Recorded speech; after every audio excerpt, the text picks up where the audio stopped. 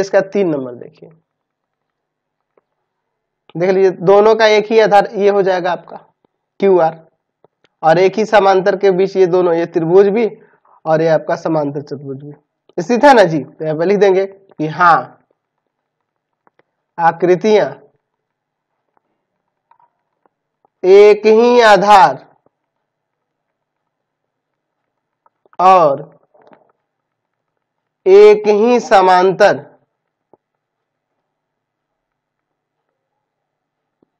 एक ही समांतर रेखाओं के बीच, रेखाओं के बीच स्थित है। तो आधार कौन सा हो रहा है जी? हम लोग लिख देंगे कि आधार जो है ना, आधार आपका क्यू आर हो जा रहा है। एक ही आधार क्यू आर हो इसका भी और इसका भी।